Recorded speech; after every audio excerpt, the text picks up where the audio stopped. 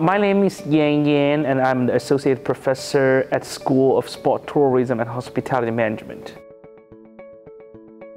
Big data is something generated by the computerized infrastructure and the facilities. We have such a large volume of data because they have been heavily used to monitor the people behavior, people attitudes, and people's image towards tourism destination specifically in our field. We are posting videos on Instagrams, we are tweeting every single day, and these are very typical data source for big data. Uh, for example, from a Twitter, from the Instagram, we can understand the trend of consumers that can be used to see, you know, what's people's preference towards travel, and there's the any specific destinations going to be really, really attractive, appealing to different kinds of customers.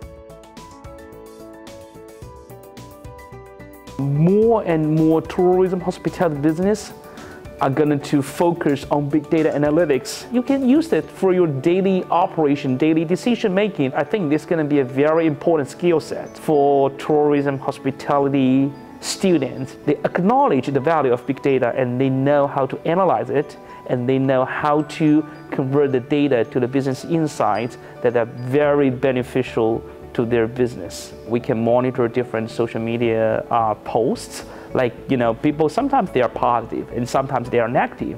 And we can figure out in which specific field they are a little bit skeptical.